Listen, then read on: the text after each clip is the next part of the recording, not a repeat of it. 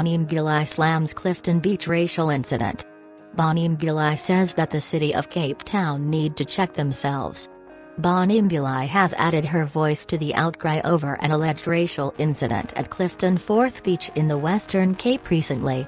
Fatima Shabadian and ANC Western Cape Provincial Secretary Faiez Jacobs and his family were among those booted off the beach this week by a private security company. They were allegedly also told that the beach was closed.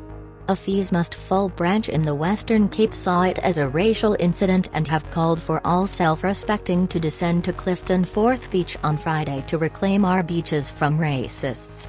The security company said it was helping the city reinforce safety and control after an alleged attempted rape on the beach, but the city of Cape Town has distanced itself from the company. The incident has sparked fierce debate on social media and on Thursday afternoon Afternoon Express presenter Bonnie Mbuli stepped in to give her thoughts on the matter.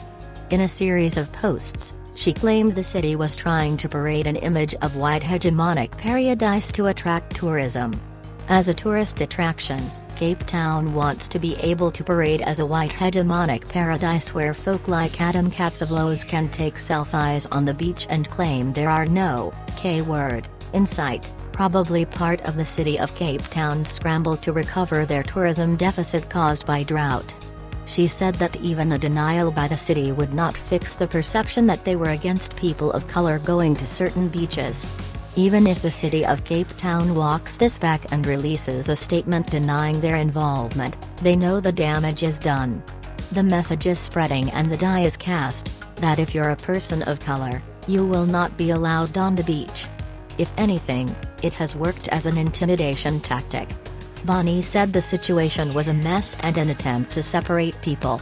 Her anger was shared by 5FM DJ Rob Forbes who claimed the city was tone deaf.